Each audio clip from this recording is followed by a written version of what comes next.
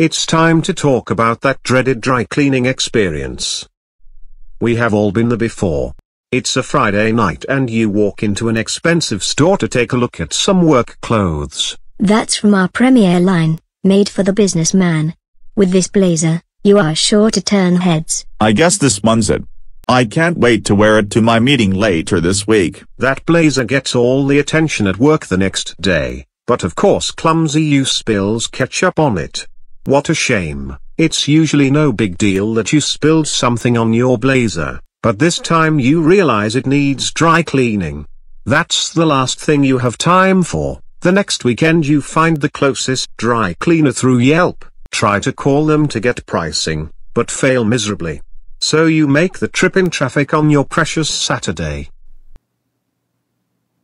So what do you think Timothy's dry cleaning experience is like? So when Tim turns up to the dry cleaners, he just assumes since they had great reviews on Yelp that his experience would be amazing too. That's not exactly the case. Tim, like the rest of us, finds that the dry cleaners have failed to disclose their prices, have poor customer service, and hand him a receipt which he loses right away.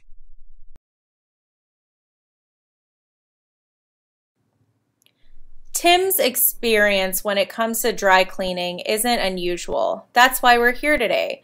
We want to talk about how we can modernize and bring the dry cleaning user experience back into the 21st century. Stay tuned, guys.